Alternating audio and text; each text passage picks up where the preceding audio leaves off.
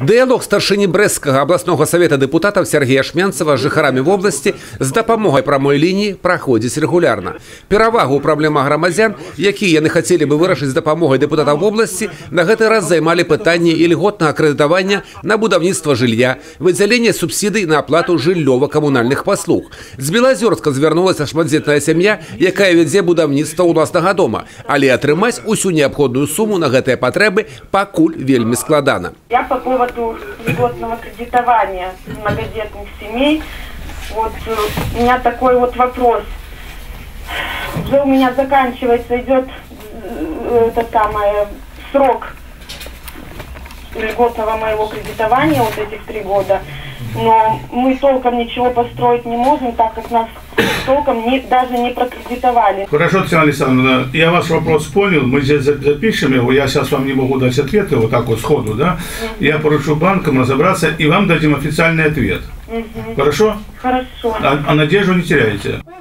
Як заўсёды шмат пытанняў было па добраўпарадкаванні тэрыторый, паляпшэнне жыллёвых умоў, выканання сацыяльных стандартаў, набыцця лекавых сродкаў для ільготнай катэгорыі насельніцтва. Даволі незвыкла прагучала на гэтым фоне жыццёвых праблем жыхароў рэгіёна зварот жыхара з бярозы, які папрасіў не зачыняць адзіны ў горадзе дзяржаўны кніжны магазин. У меня к вам такая просьба спасти магазин книги в городе Береза. Единственный государственный магазин, а, в который приятно зайти и выбрать книгу. Он просторный. Все книги на прилавках видны.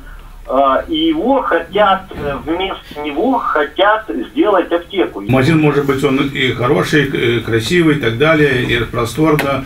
Но насколько он там окупаемость, вы тоже должны понимать эти вещи, да? Ну и третий, даже если же вдруг надо будет закрывать, если, если, а третье, да, конечно же, надо принять решение такое, что-то где-то сделать какой-то, ну, в каком-то магазине такой доступный уголок, чтобы можно было покупать книгу, да?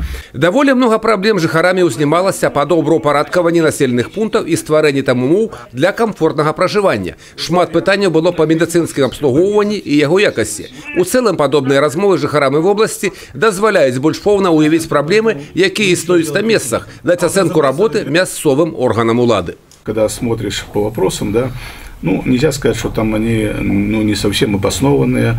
Вы знаете, у каждого человека, который что болит, это его боль. Это надо слышать людей. И, понимаете, и переносить ихнюю, ихний вопрос, ихнюю боль на, се- на себя. Я понимаю, это сложно, это не так-то просто. Но если только тот так не делает, конечно же, ну, будет сложно, и ему не место в органах власти.